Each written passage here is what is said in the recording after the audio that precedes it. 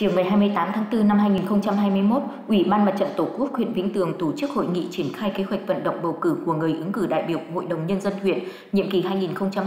2021-2026. Dự hội nghị có đồng chí Nguyễn Xuân Quang, tỉnh ủy viên, bí thư huyện ủy, trưởng ban chỉ đạo bầu cử huyện, đồng chí Đàm Hữu Khanh, Phó Bí thư Thường trực huyện ủy, đồng chí Lê Nguyễn Thành Trung, Phó Bí thư huyện ủy, Chủ tịch Ủy ban nhân dân huyện, Chủ tịch Ủy ban bầu cử huyện, Ủy ban bầu cử huyện, lãnh đạo Ủy ban nhân dân huyện, Chủ tịch Mặt trận Tổ quốc các xã, thị trấn và các ứng cử viên đại biểu Hội đồng nhân dân huyện nhiệm kỳ 2021-2026. Tại hội nghị, đồng chí Lê Nguyễn Thành Trung, Phó Bí thư huyện ủy, Chủ tịch Ủy ban nhân dân huyện, Chủ tịch Ủy ban bầu cử huyện đã thông báo đến các ứng cử viên tình hình kinh tế xã hội của huyện trong 5 năm 2016-2021 và những định hướng, mục tiêu phát triển kinh tế xã hội 5 năm tới 2021-2026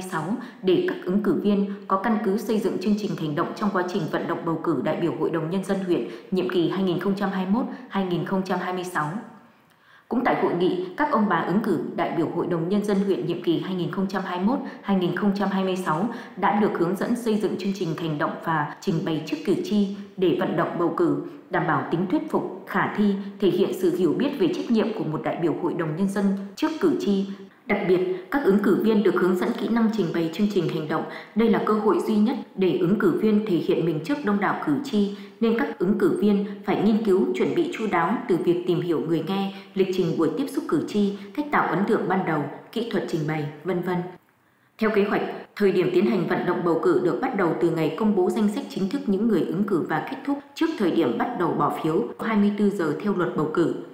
Việc tổ chức vận động bầu cử sẽ tạo điều kiện cho người ứng cử gặp gỡ, tiếp xúc với cử tri của huyện để báo cáo với cử tri dự kiến chương trình hành động của mình nếu được bầu làm đại biểu Hội đồng Nhân dân cấp huyện, đồng thời tạo điều kiện để cử tri tiếp xúc với người ứng cử, hiểu rõ hơn người ứng cử, trên cơ sở đó cân nhắc, lựa chọn bầu những người đủ tiêu chuẩn là đại biểu Hội đồng Nhân dân cấp huyện.